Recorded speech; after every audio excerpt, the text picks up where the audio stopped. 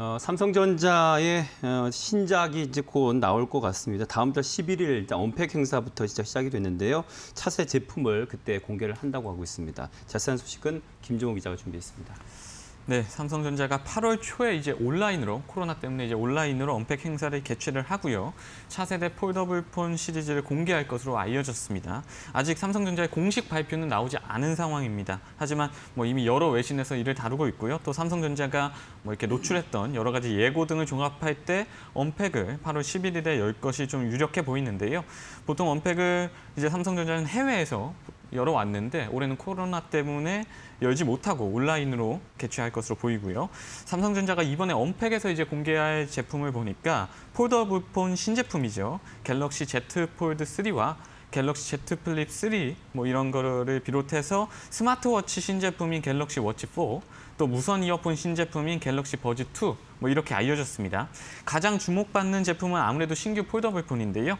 갤폴드 3는 당초 예상대로 최상급 스펙을 갖추면서도 S펜이 적용될 것으로 보입니다. 특히 기존 단점으로 지적됐던 화면 내구성도 크게 높였을 것이라는 분석인데요.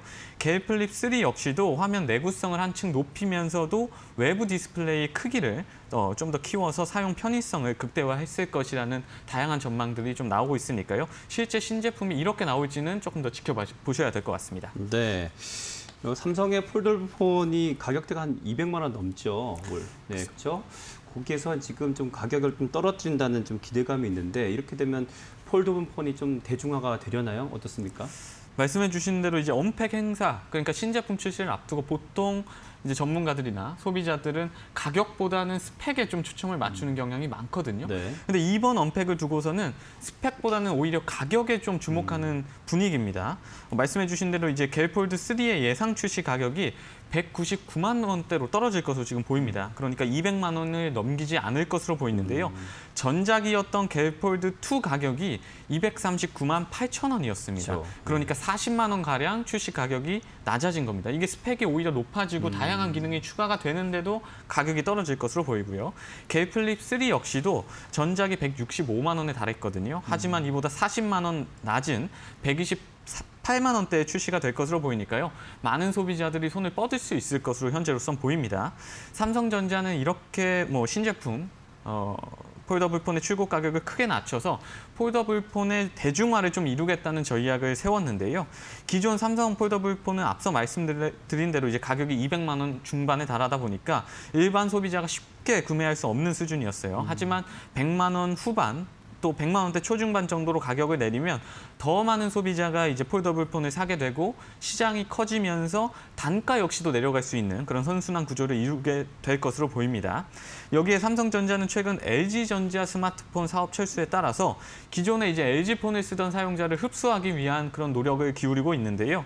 그런 측면에서 LG폰 사용자 중에 일부가 이제 뭐 아무래도 경쟁사인 아이폰으로 갈 텐데 네. 거기에서 최대한 아이폰으로 가는 걸 막고 foldable 폰을 끌어오겠다. 그러기 위해서는 가격을 인하하는 것이 필요하다. 이런 전략을 세운 것으로 보이고요.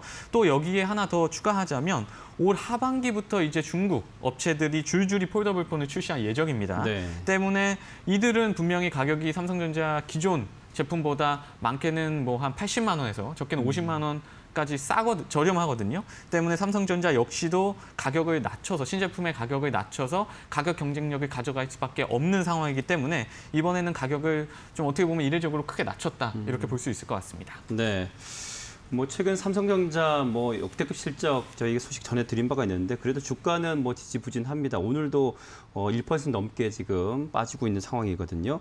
이번 폴더블 폰 시장 확대가 음, 삼성전자의 주가를 좀 어, 상승시키는 좀 뭐 동력이 좀 될 수 있을지 이것도 좀 주목이 됐는데 어떻게 보시는지 정리 좀 해주시죠.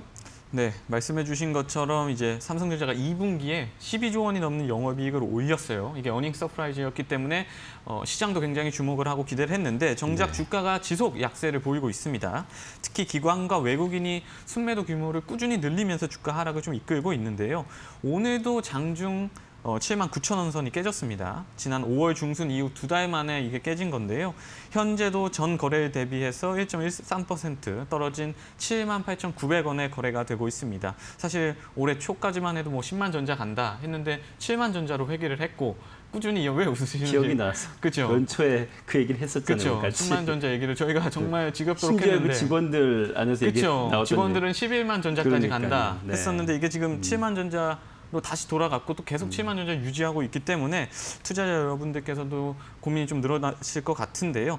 일단은 업계에서는 하반기 신규 폴더블 폰 그리고 5G 시장 확대로 인해서 스마트폰 사업 실적 개선은 어, 뚜렷해질 것이다 이렇게 보고 있습니다. 하지만 문제는 반도체다 이 얘기인데요. 핵심 사업이, 사업인 반도체 부분에서 악재가 실적의 발목을 잡을 수 있을 것이다. 이런 전망이 꾸준히 나오고 있습니다. 일각에서 메모리 반도체 가격 상승세 둔화 그리고 공급 과잉 뭐 이 전망 뭐 이런 것 때문에 super cycle이 생각보다 좀 조기에 종료될 것이다 이런 우려들이 나오고 있다는 소식 저희가 여러 번 전해드렸는데 여기에 최근 인텔이 이제 반도체 생산 확대를 위해서 Global Foundry 인수를 추진, 추진한다는 소식이 전해지면서 악재가 겹친 모습입니다. 삼성전자가 오는 2030년까지 이제 비메모리 반도체에서도 세계 1위 목표를 내걸었는데 여기에 인텔이 파, 파운드리 3위 업체인 이제 Global Foundry 인수하게 된다면 삼성전자의 입지가 좁아질 수밖에 없다 이런 우려가 나오고 있고요. 분명히 존재하는 것이고 때문에 주가 하락에도 영향을 준 모습입니다. 김경민 하나금융투자 연구원의 얘기를 한번 들어봤는데요. 김 연구원은 우선 삼성전자가 뭐 반도체도 그렇고 가전도 그렇고 뭐 스마트폰도 그렇고 다 잘하고 있다. 전 사업이 고른 실적을 내고 있다. 이렇게 평가는 했습니다. 다만 박스권에 갇힌 게 반도체 때문이다. 이렇게 분석을 했거든요. 그러니까 박스권에 갇힌 주가가 유의미하게 상승을 하려면 결국에는 반도체에서 뭔가 이번 이벤트가 일어나야 된다. 그것도 메모리가 아니라 결국 비메모리 반도체에서 뭔가 미국 팹립스 고객사를 뭐 추가적으로 확보를 하던가 아니면은 대형 M&A 추진이 되던가 이런 드라마틱한 이벤트가 필요하다 이렇게 설명을 한 건데요.